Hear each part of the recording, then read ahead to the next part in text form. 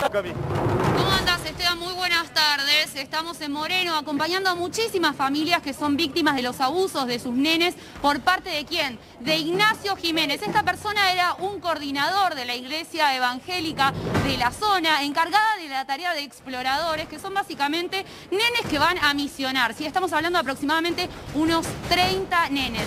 Vamos a ir a la casa donde la gente que está en este lugar considera que en este lugar está el abusador, así me lo decía Mariana, quien tuvo de víctima a su hija de abuso. ¿sí? Así que mientras tanto, si te parece, Mariana, vamos a ir caminando para este lugar, Sí. el lugar en el cual se encuentra este abusador. Ah, el que, como te abusador está ahí, pero tiene está ahí el aproximadamente unas mío. 30 víctimas. Uy, está mío.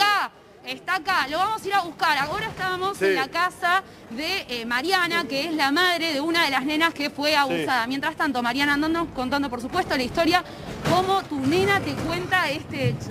Bueno, esto pasó, buenas tardes. Buenas esto tardes. pasó el domingo cuando nos enteramos que el propio hijo de Ignacio Jiménez eh, le cuenta a su abuela que, que había sido abusado por su papá.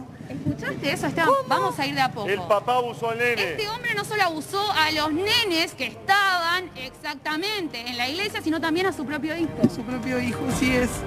Este hombre eh, hace años que no- lo conocemos, había hecho un vínculo grande con todos los chicos de la iglesia, todos los vecinos de acá del barrio, le confiábamos a nuestros hijos, a- aún es mi compadre, padrino de mi nene de 5 años.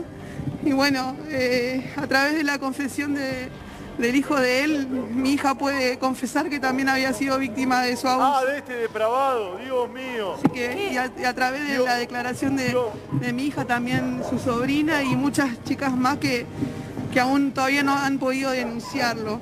Como mi hija está en el coro de la iglesia y le preguntaba, ¿así que vos querés estar en el coro?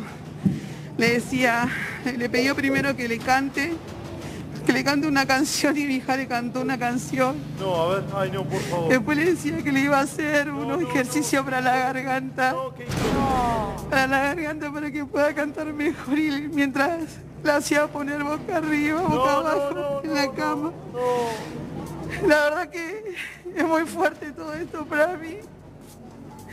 Tranquila, Mariana. mi hija, mi Ay, bebé. Dios mío, por Yo le, le brindé mi casa, mi confianza, todo. No lo puedo creer.